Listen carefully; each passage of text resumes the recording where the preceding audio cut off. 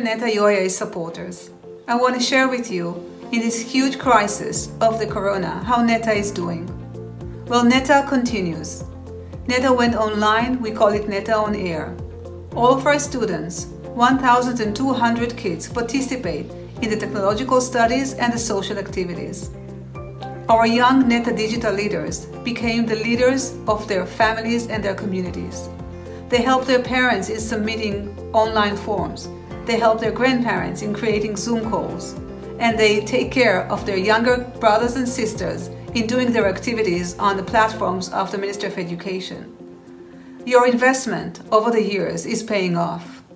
I feel strongly that what we have seen and what we have envisioned of creating a new generation who's prepared for the future is taking now and happening now in real time. I want to share with you also that our activity that started in Neta, Italy, our young Shinshinim who participated there within the Jewish community of Italy continues. Our young Shinshinim came back to Israel, but they are continuing to teach the Neta kids in Milan and in Torino. They even created a Haggadah for Passover.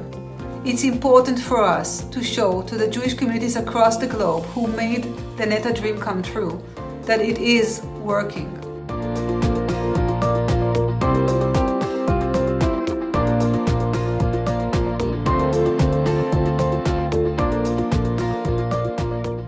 כולנו מתגעגעים מאוד לאבא, לאימא.